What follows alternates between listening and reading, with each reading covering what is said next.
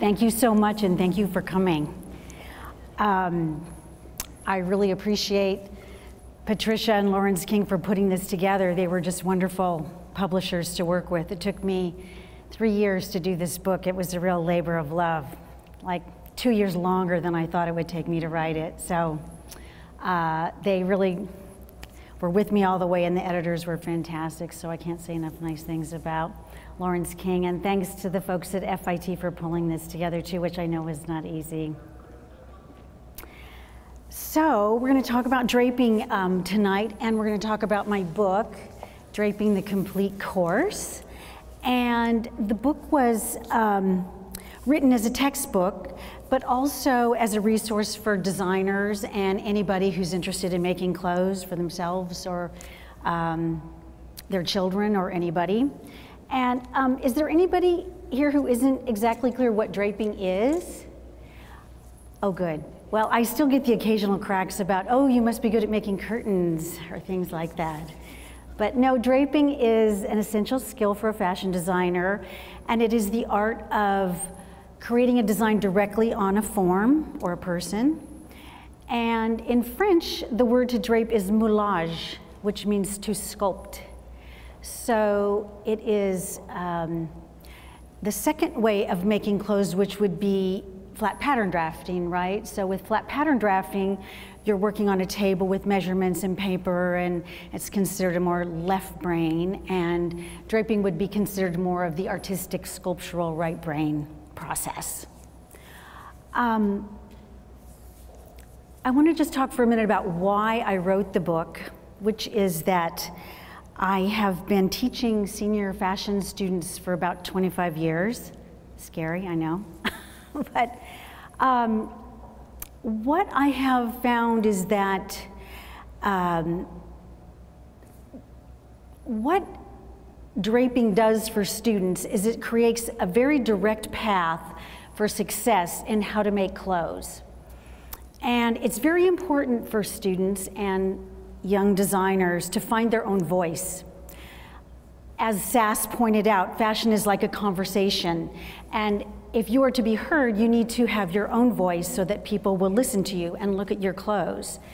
So when you think of designers that are existing now in fashion, you think of people who have a really strong voice, like say, Dolce & Gabbana or Versace, or like Nike's a really obvious one. They have a really strong look, right? So for young people, it's, um, it's more difficult to create and develop that sense of what is their look, what is their signature style, what are they going to become known for, their unique sort of look. And it's a very subtle thing what that look is. Um, for example, one of my favorite designers is Nanette Lepore, who's a New York designer who does pretty kind of feminine clothes. And she has a certain kind of level of detail that she does, like little feminine cuffs or lace ups, or there's like a certain proportion that she uses that's very identifiable. So when you see it, you goes, oh yeah, that's one of her Nanette Lepore's dresses. So beyond that, there's sort of yet another level of what designers try to do with their clothes, which is they're trying to express a philosophy, perhaps. They're trying to um, say something politically, maybe, like, again, the upcycled clothing. I mean, these are very, it's almost a social political statement, these clothes. And you think of somebody like Vivienne Westwood in the 80s, was it the 80s or the 70s, with her shop on Kings Road? Her clothes pretty much defined the punk movement, right? I mean, that was clothing with a purpose for sure. Um, Comme des Garçons now is like amazing. Her clothes are very political and very groundbreaking. So for students, developing this kind of what are they trying to say, it's difficult. It's like you're uh, designing what your employer tells you to design. You're designing what you like to wear. You're designing what you think is kind of trending. But um, to really design something new and kind of figure out your voice, draping is really wonderful because there's so many little decisions that you need to make all the time about proportion and detail and line. And you kind of slip into an almost meditative, intuitive mode. And so as you're working with the muslin and working with shape, it just kind of emerges naturally.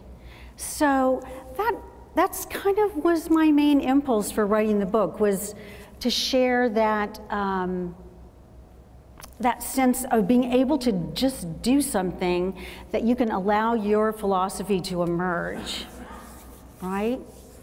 Um, another reason I wrote the book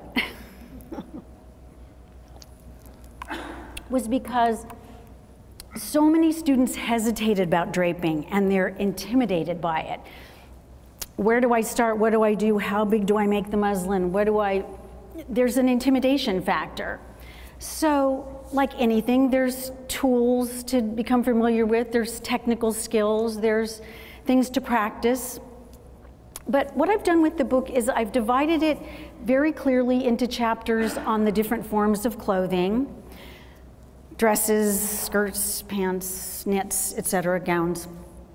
And then at the beginning of each of those chapters, there's a little um, two page section on the history of that particular form and how it originally evolved. So we find that pants all started with squares, like two woven panels, and skirts were all squares. And we sort of learned that, well, indeed, this is how people began making clothes from the beginning of time, was weaving panels of cloth and then sort of wrapping or tying them around their bodies, togas, sarongs, abbas, um, with basically rectangles of cloth.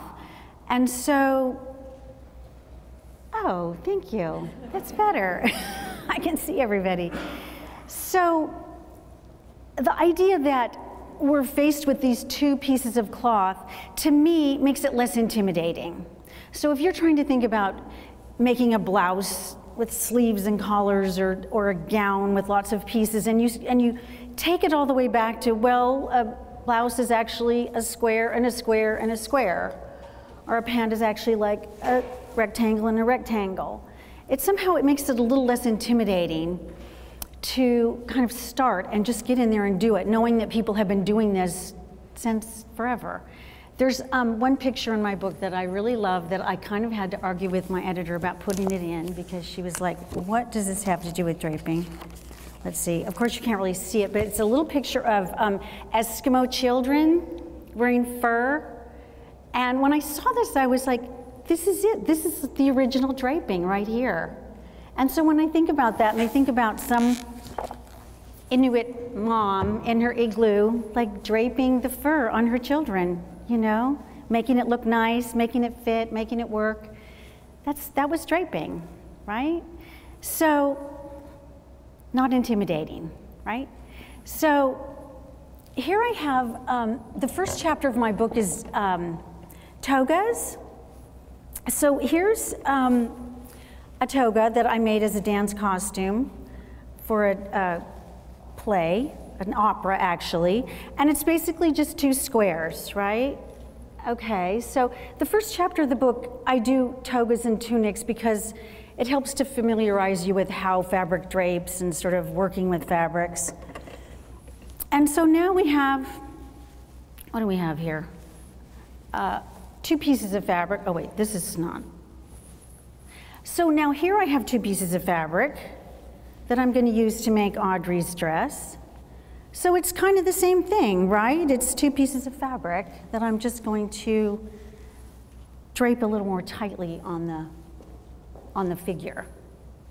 So I'm figuring, I have these two squares and I'm going to start with the center front and line it up, and I'm going to start figuring out how I'm going to dart this and take it in. And so we have kind of the bust and the waist to work with. So I'm going to start thinking about how I'm going to dart it or what I'm going to do. So I just basically start clipping and pinning. Wherever the fabric kind of gets in my way, I sort of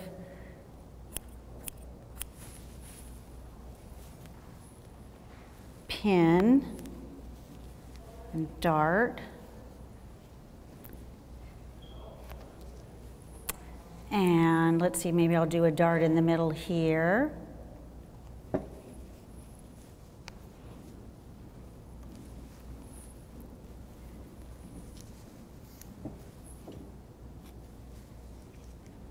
So I'm starting to create shape with these darts, right?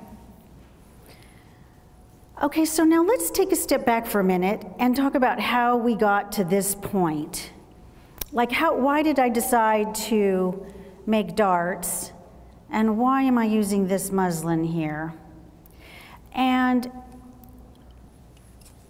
one of the things that a designer always does first is they determine what fabric they're going to use to make their dress. So they already know ahead of time what they're going to be using. So I brought some fabrics here to show, and I just want to talk about how the different qualities of the fabric, like as a designer, I'm looking at this crinkle chiffon, and I'm trying to decide like maybe what this, how this would work best. And I feel like it works best with shearing, right? And sort of gathers like that. Whereas maybe this piece of fabric that's more crisp, you know, would look good with maybe a scrunchy sleeve or something quite different. And so it's, it's a very important skill for a designer to know the qualities of the fabric and how they relate to the muslin that we use, right? So here's a fabric that's kind of a slinky satin, and this fabric would look really good with darts. It sort of creates a long angular look. So before I work on the Audrey dress, maybe I have in my mind what fabric I'm going to use and how it's going to look. So the designer's skill of visualization is critical. You have to be able to visualize what something is going to look. I mean, before you make anything, right, like a birthday cake or something, you need to know, sort of have in your mind how you want it to look. So I have in my mind how I want this dress to look, and, I, and I'm thinking I'm going to be making it more like this fabric than this fabric. But we're doing it in muslin. And can anybody tell me why it is that muslin has become this kind of industry standard? Any suggestions? How many people are designers or students? Students and designers? Um, well, we use muslin for um, several reasons. Number one, it's inexpensive, right? And it's um, easy to work with because it has a very stable grain line. And it's also white or off-white, so it creates uh, a blank canvas. Like I would not want to be draping with a colored fabric which is funny because a lot of my students, they want to drape with fabrics. And I guess uh, um, in kind of better priced or, or probably in the couture, they drape with real fabrics. But mostly in the industry, we drape with muslin because it's kind of the industry standard. It's inexpensive, it's easy to work with, it's easier to make a pattern from. Okay, so now I'm just sort of continuing to shape these darts. And if you'll notice, I have these pencil lines drawn on here. And this is a critical part of draping. This is the length grain of the fabric, and this is the cross grain of the fabric. So I brought a piece of fabric. Um, this is a piece of raw silk.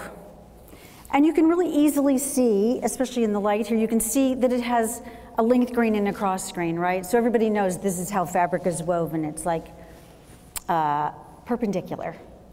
And so understanding the qualities of the, of the grain lines is really important to draping because the length grain is considered the strong dynamic grain. So if I'm doing something that's very angular and long, and strong like that, I definitely want the length grain to go straight down.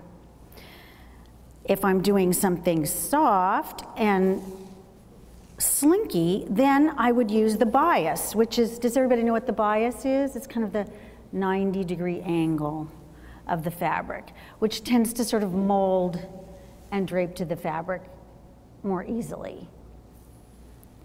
Right? So the grain line configuration that you're using becomes your blueprint for your design. So you decide ahead of time, I'm looking at the Audrey dress, I've decided my fabric, and now I'm deciding my grain line. Hi, Mary. and so I decide I'm going to use length grain and I'm going to keep my cross grain very stable. Okay, and I brought these samples of, let's see, let's see if we can look at these for a second. So this one is on the cross grain. Let's see if you can see the difference between this one and this one.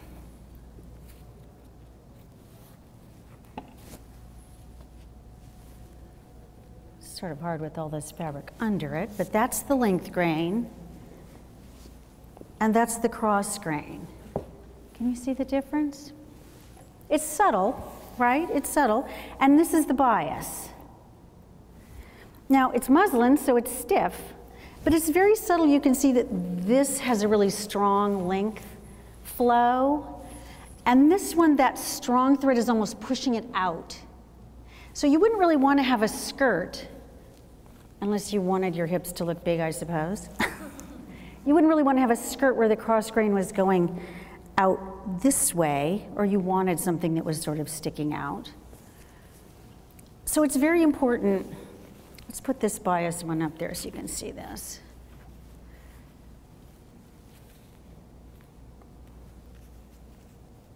So there's the biased one, which has a much softer sort of look. I also brought this like gorgeous, this is a gorgeous piece of four ply silk crepe that um, just has this amazing bias drape. So let's see, here's the bias of this. So you can see how this drapes. So setting up the grain line is like um, the blueprint of your um, garment, like, like the steel girders of a building, right? So you have the length grain. So this is the muslin preparation diagram that I made to make this dress. So I'm drawing the grain lines and the cross grains where I'm gonna line it up so that as I'm draping, I can make sure that I'm staying in balance.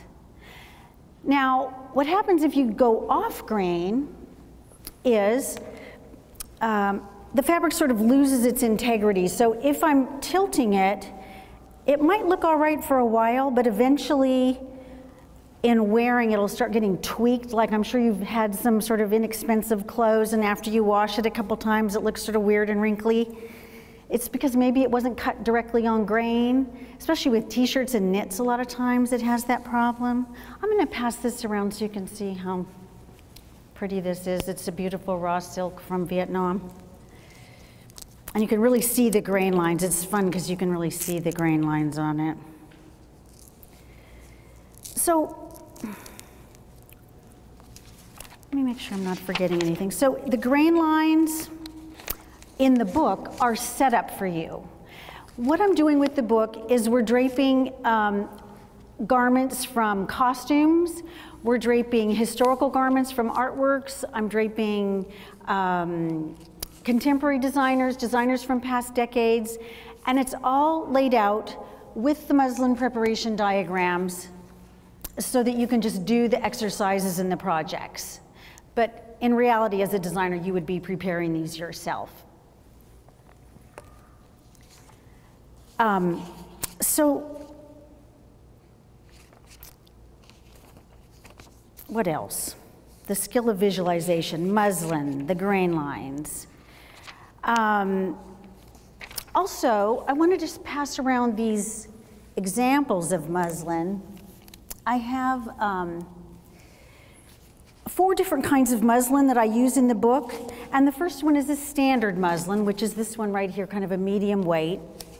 And then I use a sort of starched voile muslin, which is good for sort of um, uh, fuller, lighter garments.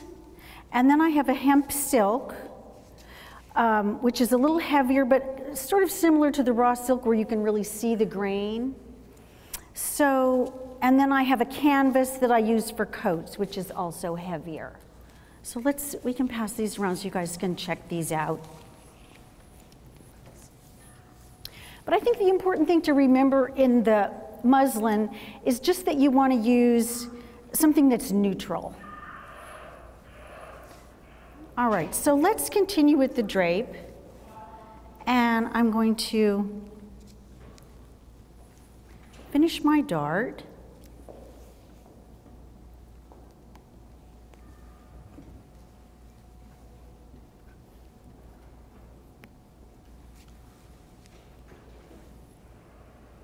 Um,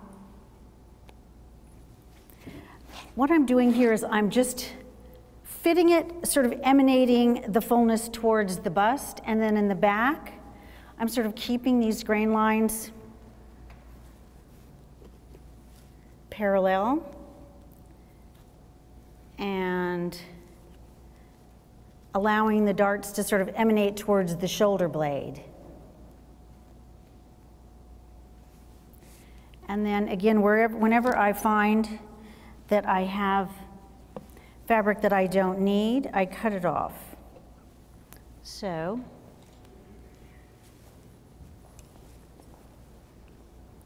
now one thing we don't have here that's an important element of draping is a mirror. It's really good to be able to drape in front of a mirror. How many of you were like draping at home? Draping in the classroom? Draping at home? um, it's really good because mostly we see people from uh, like six feet away, five or six feet away. And so when we look at people and we look at the clothes, that's what we're accustomed to seeing. But when we're draping, we're kind of right on it like this. So it's really good if you have a mirror and you can sort of look at it from a distance so that you're not always sort of standing back and seeing what you've got.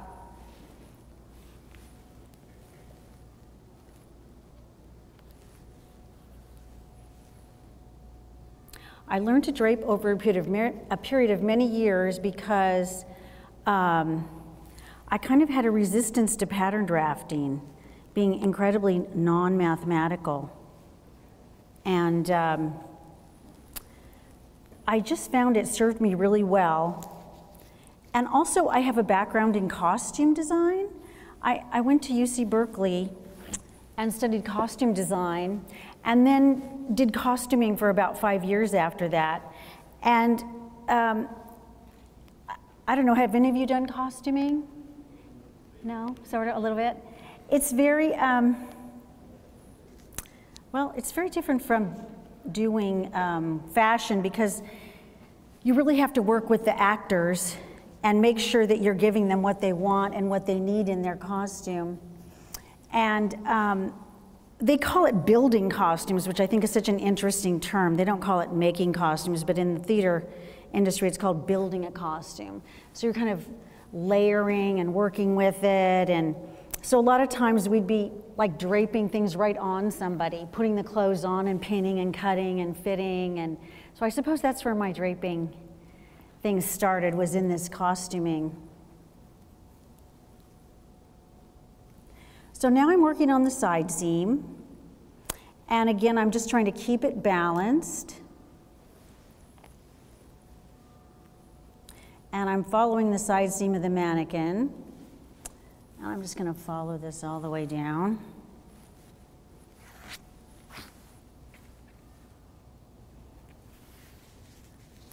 I went to um, Dover Street Market today. Have you guys been there? Oh my gosh. The Comme des Garçons store. The, it was a pop-up, right? It started as a pop-up.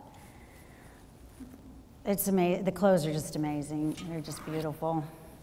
And I was thinking today, well, those clothes, I'm sure were draped You just can't draft really complex clothes like that. Obviously, somebody was on the mannequin with a sort of artistic sense in creating these kind of wild, crazy clothes. Okay, so now I've kind of got my fit. I've got one dart in the back, one up here to sort of control the shoulder blade area.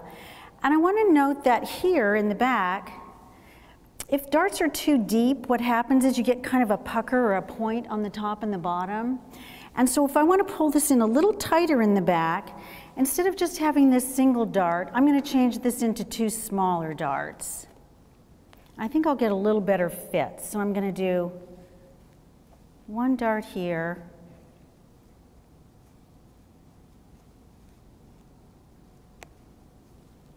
And one over here. And then I'll be able to get a little closer fit around the waist.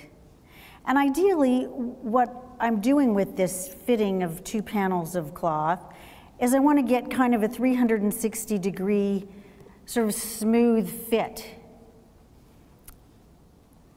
Right, so dividing this fit into two darts instead of one will help me help it smooth out a little more over the body.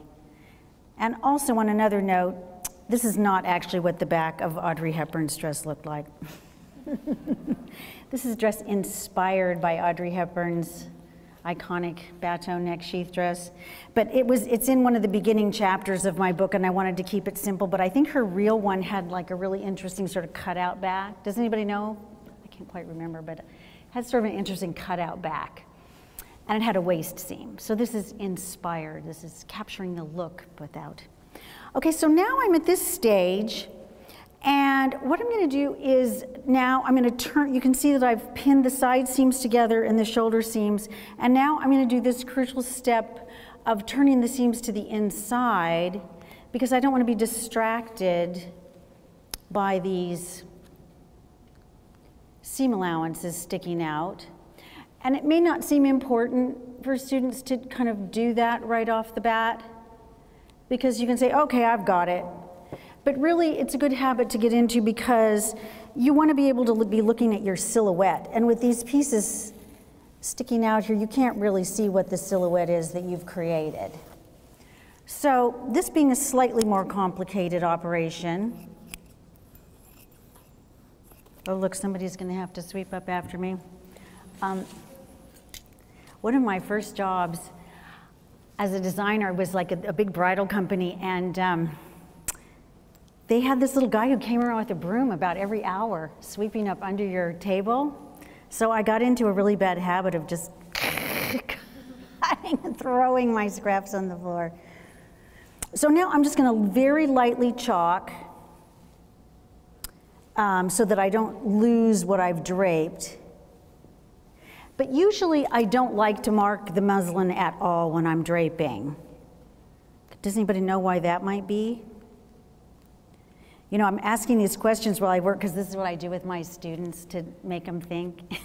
you know, it's like, um, well, I'm doing it because when I have the finished muslin, I really don't want to be distracted by a bunch of stray pencil marks and lines. I want to just be able to look at the silhouette that I've created and study the line and study the balance. And so it's very tempting to start drawing in necklines and drawing all over your drape, but it's really not a good idea. Not a good habit. All right, so I'm turning this in. The other thing that's really useful when you're draping is to have that sketch nearby. So I'm like looking at it over my shoulder, but actually a lot of times what I do is I put the sketch right, I put it right on the mannequin and look at it while I'm draping so I can try to get it, get the look. Okay, so we're getting there. Now, one more step. Which is the neckline and the armhole. So I have this great little tape. If I can find the end of it. Here we go. Um, So I'm going to study my photograph here and I'm going to use this tape to create my neckline. I'm going to start in the back. And this is really nice because it's movable.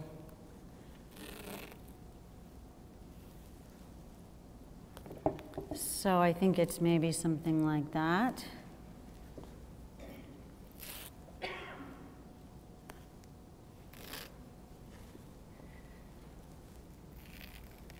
And like that. And then I can sort of stand back and see what I've got.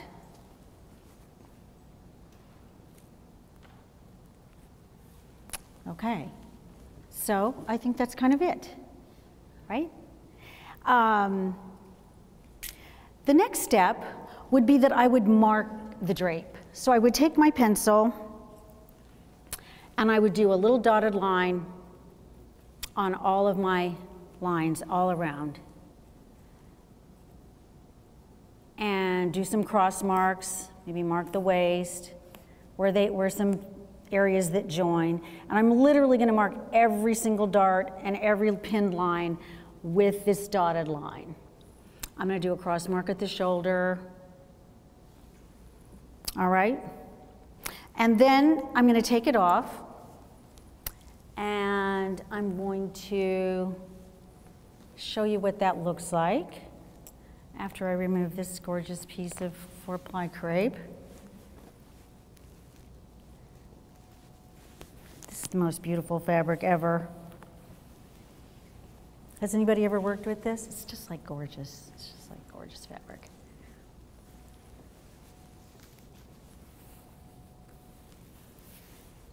Does anybody have any questions before I go to this next step? Okay, so then this is what it looks like after I unpin it and mark the little dotted lines. Okay? So it's like all like a dotted line. And then I take my rulers and a pencil and I join the dotted lines. So I just sort of start, and these two rulers, I mean, there's like a whole array of rulers that pattern makers and drapers use, but these two are like, I can do everything I need to do with these two rulers right here. This is a hip curve and this little graph, clear graph ruler. So I just sort of fill in all these lines like that. And there's a huge section in my book that um, goes through this uh, procedure step by step. It's all very clear. And in fact, the way the book is laid out is that every chapter has a main project and several exercises that lead up to it. So you do the little exercises and then the main project, it shows, gives you some tips on how to transfer it to paper and make the muslin. So then here's what it looks like when I've filled in all the lines and I've added the seam allowance, right? So I've got what I've draped is this sew line. Then I add the seam allowance and I cut that away and I end up with my piece like this. Now in couture, what they do is they actually use this as the pattern. This can be used as a pattern. It has a stable grain line and you can just use it. However, in the industry, mostly we transfer this to paper and then we have paper patterns. In fact, the way it usually goes is you transfer it to paper, they do a fit sample, and then they make a production pattern and they make a hard paper, or maybe they digitize it or something. But then for me, what I do, what we do is um, after the first drape, then I make the second, the double piece, because that's only a half muslin. And then here would be this full muslin, already sewn up. And this is what we would use to try on the model. Okay? And then when I tried this on the model, who was very tall, and I ended up actually piecing a little length onto there, when I looked at it and I looked at the um, sketch, I decided to peg it in a little more on the side. So I made it a little more pegged on the side. I took out a little more on the hip, and I took out a little more on the underbust. And then what I would do is go back and mark this with a red pencil to sort of correct the pattern. So that's kind of the draping process, from drape to fit. Any questions? Thank you. So, one of the things also I wanted to mention about my book is that it's set up as a curriculum. It's basically, it could be a one, two, or three year curriculum. There's a lot of information in it. And if any of you are teachers, it can be used by sections. You could usually actually use it as a curriculum to go all the way through from beginning to intermediate. There are videos include, included that go with every chapter. Or if you are somebody who, are, who is working on your own, you could just take this book and kind of dip in anywhere you want. Um, all of the exercises and projects are like kind of simplified templates of garments. And so if you want to do more if you want to like do some blouses, you would take maybe the blouse drape and then you would maybe add a skirt drape onto it and make it into a peplum, or then you would make the bias skirt into a coat, or you could, they're quite interchangeable and quite easy to sort of dip in wherever, even though it is sort of chronologically, sequentially beginner to advanced. It's, it's easy to work with in that way. And also the patterns are all available on my website if anybody wanted a pattern to use as a template or to check their work or to see why theirs doesn't look like the one in the book. Um, it's really good practice to just go through. And I think the fact that um, when you practice all of these things, you're not really doing your own designs. You're actually looking at someone else's and trying to copy something that's already existing. You're really training your eye to look at those silhouettes and look at those lines and see what it is they're doing and how to make them happen. How do you create a fit like that? Or how do you create, you know, some of these costumes that are in here or the big gowns? And then at the very end, there's a chapter on um, there's a chapter on draping on the bias, which is very tricky and very fun to do. And then at the very end, there's a chapter on improvisational draping. And um, this is a costume that I did that's and it was an improvisational drape that was a wandering goddess or something, one of Peter's plays. And I just sort of draped it on the mannequin as I went. And then this little artwork is a calligraphy by a Buddhist monk. And I used it as an inspiration to drape this neckline, which is on the cover of the book. So the last chapter sort of goes into this more advanced area of like how to capture like the energy of that calligraphy. How do you, how would I take that sort of crazy little thing, the energy of that, and make it reflected in a garment. So I hope that this book is helpful to designers. There's a fabulous Vivienne Westwood that's an improvisational drape. How did somebody come up with that, right? Anyway, I hope the book is helpful, and I hope all of you that are interested in fashion check it out. It's got a lot of great illustrations and um, fabulous tips on making clothes and how to make them meaningful. So, thank you everyone for coming.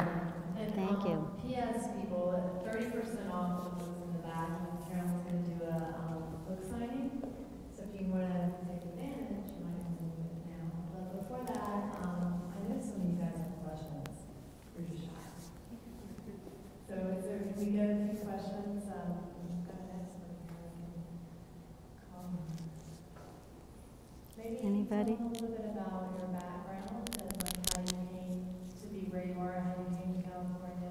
Oh, okay. She has a.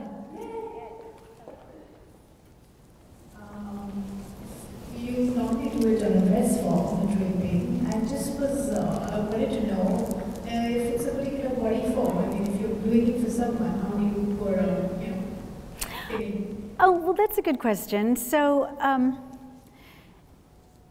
what You you. put it on for a sh- a dress form which is close to that and then. what- Yes, yes. Um, I'm actually doing a project right now with my students where we're designing gowns for um, the a Philharmonic Orchestra soloists, and so there a lot of them are quite, uh, you know, and also very some of them are very asymmetrical because they're violinists that are s- stood like this their whole lives.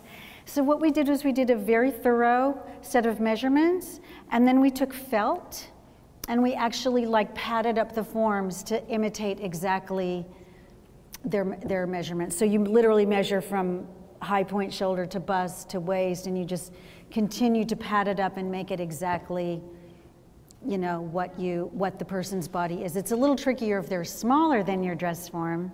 Then you have to just drape it and then take off the measurement afterwards. Um, the couturiers, you see some of the great couturiers like Balenciaga or Saint Laurent, and they actually drape on the people. There's video of them like draping with the real fabric, you know, pinning and cutting when there's some poor woman is standing there for like hours being paid probably a lot of money, but that's a luxury that not everybody can afford, but people do that, you know, especially if you're making something for someone. I have a question about the dress forms. Would you ever have the actual, um, I don't know what you would call it, but the padded part go further down and for what kind of garments would you use that? Um, what, what they have is a dress form that has legs. So um, it's called a cocktail form, and it goes. This padded part goes goes turns into legs and goes all the way down. That's the other kind that's sort of readily available. So that would be for trousers or? Yeah, and then they also have pant forms that are just half forms that are just the legs. Um, also, they have arms. You often need arms to do sleeves, so um, I always have my students make one, but you can purchase them. They have heads. So the Wolf Dress Form Company is the one that I use, and they have a full array of. They're expensive, but they're worth it. You know, it's an important tool. All the other tools with draping are pretty straightforward and simple, a couple of rulers and the muslin, which is not expensive, but the dress form is kind of critical and, and pricier. So now I've seen a tutorial online for making your own dress form, um, using like duct tape and- a whole a whole process. And I've looked at that because I do a lot of costume design based on, on corsets, Mm-hmm. which is a very different form from your, your normal figure. Right. And that was one of the reasons I've been looking at draping is that it would be a lot easier to get a nice fitted bodice that's going over that way. Right. But dress forms, the normal ones, really aren't that shape. Um, no. Um, I mean, you can pad them up. You get a really small one and just shape it. Um, one of my students did went on some blogs and found some way of creating a dress form, and it it was it was the duct tape was the form, but it was like that sort of foam stuff. You spray the foam inside of it and then take the duct tape off. That sounded pretty. I mean, it sounds pretty labor intensive, but probably would work. Yes. Pardon? the foam expands. Yeah, I haven't tried it, so I don't know. Let me repeat the uh, recording. Caution on the foam, you can buy it legally, but it expands when it uh, sets. So a little pushy, more pushy.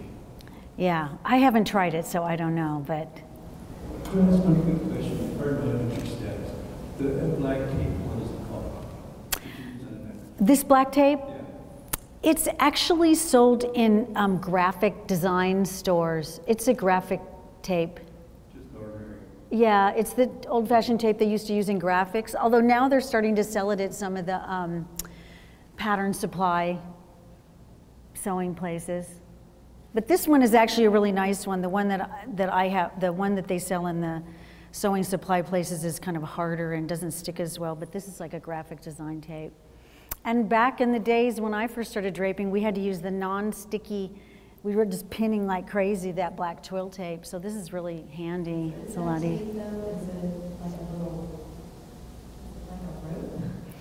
It's a, like a little roll of, it's just a little roll of tape. Yeah, it's really good.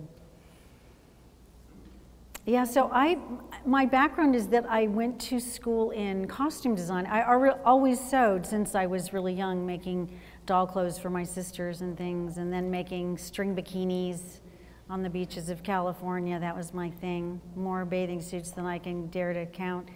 And um, then I went to school and did costume design, which I did for a while, and I continued to do over the years.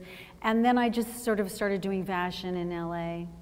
And I've had my own business twice. I had a lingerie company in the 80s, and I had a cocktail dress company and from like 2003 to 6, and sort of have been teaching all along, so yeah.